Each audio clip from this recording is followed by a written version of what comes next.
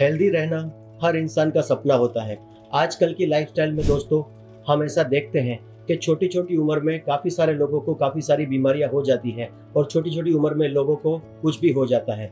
ऐसा कहा जाता है कि if wealth is lost something is lost but if health is lost everything is lost जी हाँ दोस्तों, स्वास्थ्य तो कुदरत की ओर से मिलने वाली हमें सबसे बड़ी गिफ्ट है। आज के इस वीडियो में हम ऐसे पंद्रह गोल्डन रूल्स के बारे में यहाँ पे चर्चा करने वाले हैं। ऐसे पंद्रह नियम मैं आपको बताऊँगा स्वस्थ रहने के लिए। मेरी बारह साल की प्रैक्टिस में जो मैंने सीखा है, वो चीज़ें मैं आज आपके साथ शेयर करने वाला हूँ।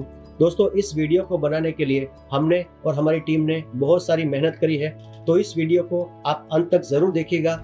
और मैं ये दावा करता हूँ कि अगर किसी ने भी ये पंद्रह नियमों को अपनी ज़िंदगी में, अपने डे बाय डे रूटीन में अगर उसे शुमार कर लिया तो वो हमेशा और बड़ी लंबी उम्र तक वो स्वस्थ रहेगा।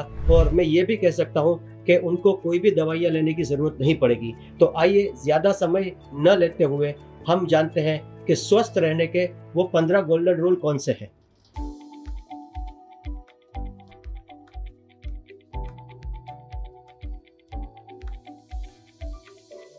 दोस्तों, मैं डॉक्टर सुहेल दलाल और आप सभी लोगों का स्वागत करता हूँ हमारे YouTube channel Sanjeevani Ayurveda hospital में।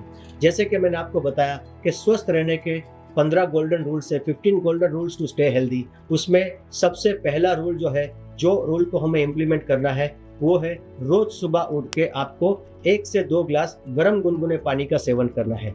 गर्म गुनगुने पानी के सेवन करने को आयुर्वेद में उषपान कहा जाता है और उषपान यानी कि पानी का सेवन करने से जब हम पूरी रात सोए हुए होते हैं और सुबह जब हम उठते हैं और एक गिलास गर्म गुनगुने पानी का हम सेवन करते हैं तो उसकी वजह से हमारा शरीर जो बिल्कुल सुसुप्त अवस्था में होता है, वो एक्टिव हो जाता है। दूसरा, पानी हमारे बॉडी में जाने से हमारी बोवेल मूवमेंट अच्छे से होती है और जिससे हमें कॉन्स्टिपेशन जैसी तकलीफ़ नहीं रहती, हमारा पेट क्लीन हो जाता है, जिसकी वजह से हमारा पूरा दिन अच्छा जाता है। पूरे दिन में हमें अच्छे से भूख लगती है और हमारा डाइजेशन भी अच्छा रहता है। तो हमें रोज सुबह उठ के उषा पानी, यानी कि गर्म गुनगुने पानी का सेवन ज़रूर से करना चाहिए। अगर गर्मियों की सीज़न है तो आपको गर्म पानी नहीं पीना है, आप नॉर्मल पानी का सेवन भी कर सकते हैं। उसके बाद दूसरा नियम है सुबह उठ के जब आप अपने फेस को क्लीन करते हैं, अपने चेहरे को आप धोते हैं तो अपनी आँखों को अच्छे से साफ़ करें। दोस्तों, अपनी आँखों को सुबह उठकर ठंडे पानी से साफ़ करने से आपकी आँखों के अंदर के मसल्स रिलैक्स होते हैं और अंदर ब्लड सर्कुलेशन बहुत अच्छे से होता है। और दूसरा, आपकी आँखों में जो कचरा है, वो भी निकल जाता है। ठंडे पानी से आँखों को धोने से आपको आँखों के नंबर भी नहीं आते हैं और बड़ी उम्र तक आपकी आईसाइट जो है, वो अच्छी और प्रॉपर बनी रहती है। हेल्दी रहने के जो पंद्रह नियम हम डिस्कस कर रहे हैं, उसमें अगला नियम है, अपने खाने में सिंधा नमक का आप शुमार करें। सेंधव नमक को पिंक सॉल्ट या हिमालयन सॉल्ट भी कहा जाता है, उसे रॉक सॉल्ट भी कहा जाता है। सेंधा नमक जो है, वो हमारी बॉडी में वाटर रिटेंशन नहीं होने देता है। जिन लोगों को सूजन आने की तकलीफ़ है, उन लोगों को हमेशा सेंधा नमक का सेवन करना चाहिए। जो लोग हाई ब्लड प्रेशर के पेशेंट हैं, उन लोगों को भी सेंधा नमक का सेवन करना चाहिए। सेंधा नमक का सेवन करने से आपका ब्लड प्रेशर भी कंट्रोल में रहता है। उसके बाद अगला नियम जो है, वो खाना खाने के बाद कभी भी पानी ना पिए। कुछ लोगों को ऐसी आदत होती है कि खाना खाने के तुरंत बाद एक गिलास या दो गिलास पानी पीते हैं। आयुर्वेद में ऐसा कहा गया है कि भोजनांते विषम वारी, यानी कि पान, खाना खाने के बाद पानी पीना, वो विष पीने के समान है। क्योंकि जब हम खाना खाते हैं तो हमारे शरीर में हमारी जो जठराग्नि है, वो प्रदीप्त रहती है। हमारा जो खाना है, उसका डाइजेशन शुरू हो जाता है। हमारे पेट की दीवार में से हाइड्रोक्लोरिक एसिड पैदा होता है, जो हमारे खाने को अच्छे से पचा रहा है। जब हम पानी डालते हैं तो वो हाइड्रोक्लोरिक एसिड जो बन रहा है, वो पूरा डाइल्यूट हो जाता है, जिसकी वजह से हमारा खाया हुआ खाना अच्छे से डाइजेस्ट नहीं होता, जिसकी वजह से हमें गैस एसिडिटी और ब्लोटिंग जैसी शिकायत बनी रहती है। अगर आपको खाना खाने के बाद पानी पीना है तो आपको एटलीस्ट वन आवर के बाद, यानी कि एक घंटे के बाद आपको खाना खाने के बाद पानी पीना चाहिए। खाना खाते हुए या खाना खाते खाते आप पानी पी सकते हैं। अगर खाना खाने से पहले आप पानी पीते हैं तो आधा घंटा पहले आपको पानी पीना चाहिए।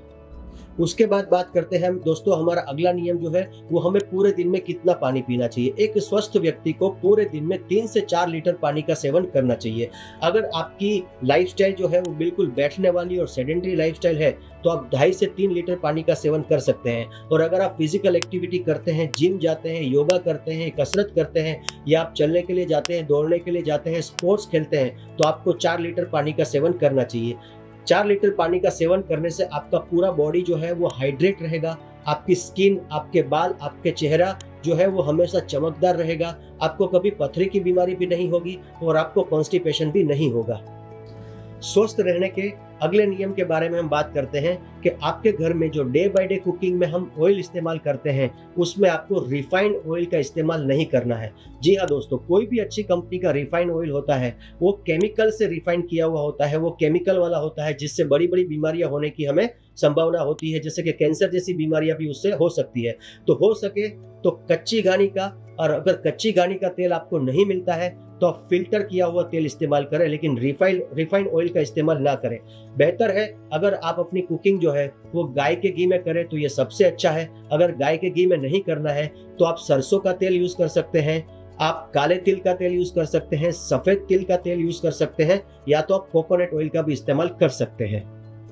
उसके बाद अगला नियम हम बात करें तो तीन ऐसी व्हाइट चीज़ें हैं जो हमें हमारे खुराक में से निकाल देनी चाहिए। वो तीन व्हाइट चीज़ें हैं, सफ़ेद चीनी, नमक और मैदा। ये तीन ऐसी चीज़ें हैं जो हमारे शरीर को बहुत ज़्यादा नुकसान करती है। उससे हमारा शरीर का वज़न बढ़ता है, वो हाई कैलोरी होती है, इसीलिए हमारा मोटापा भी बढ़ता है। डायबिटीज़ है थायराइड है यूरिक एसिड है, ऐसी काफ़ी सारी बीमारियाँ भी उसकी वजह से होती है।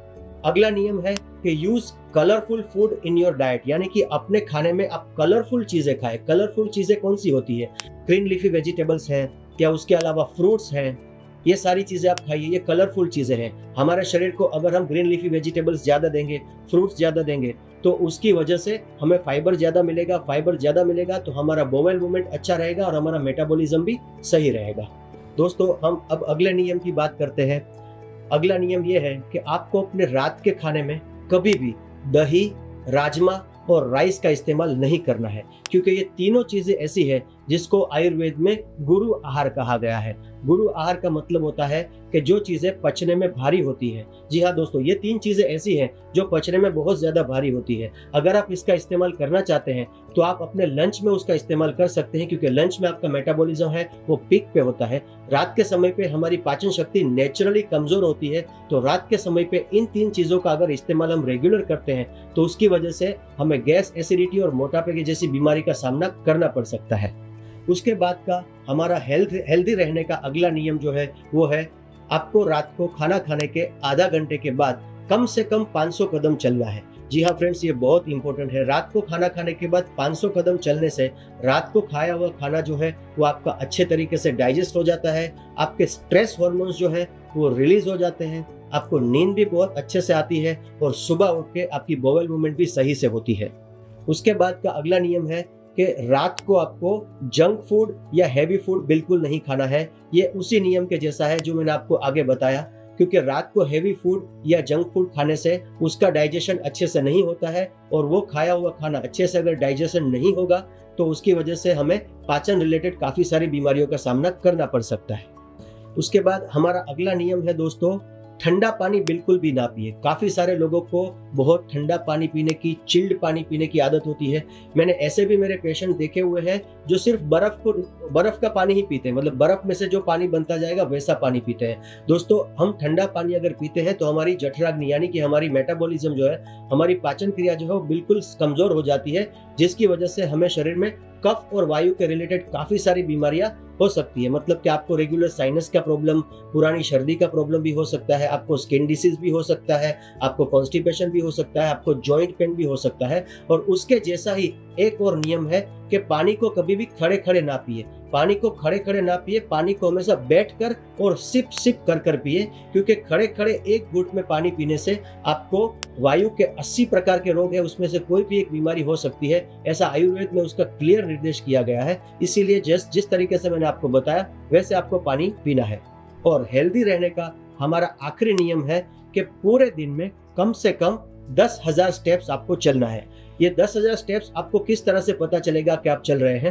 दस हज़ार स्टेप्स चलने के लिए आजकल हमारे मोबाइल में काफ़ी सारी ऐसी ऐप आती है, आप उस ऐप में उसको मेजर कर सकते हैं। अगर आपको दस हज़ार स्टेप्स चलने की आदत नहीं है तो आप शुरुआत में पाँच हज़ार से लेकर सात हज़ार स्टेप्स तक चल सकते हैं, फिर धीरे धीरे उसे दस हज़ार स्टेप्स तक लेके जा सकते हैं। ऐसा करने से रेगुलर चलने से आपके शरीर में, पूरे शरीर में खून का संचार अच्छे से होता है, आपको बहुत अच्छे से स्वेटिंग होता है स्वेटिंग अच्छे से होगा तो शरीर का जो टॉक्सिन्स है वो बाहर निकल जाएगा और आपको हाई कोलेस्ट्रॉल जैसी बीमारी कभी नहीं होगी। आपका हार्ट हमेशा हेल्दी रहेगा, आपके मसल्स हमेशा एक्टिव रहेंगे।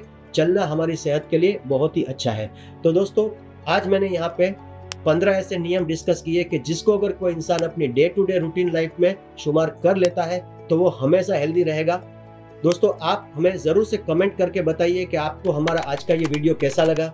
अगर आप हमारे चैनल पर नए हैं तो इस चैनल को आप ज़रूर से सब्सक्राइब करें और इस वीडियो को आप अपने दोस्तों के साथ अपने चाहने वालों के साथ ज़रूर से शेयर करें दोस्तों आपको वीडियो कैसा लगा वो ज़रूर से कमेंट करना ना भूलें और मैं आपके साथ अगले वीडियो में ज़रूर से मिलूँगा तब तक अपना ध्यान रखें स्वस्थ रहें हेल्दी रहें. Rejuvenate your mind, body, and soul. Call now 75750 या 98794 28494 116 117 ग्रीन एलिना ऑपोजिट स्नेह संकुल वाड़ी आनंद महल रोड अडाजन सूरत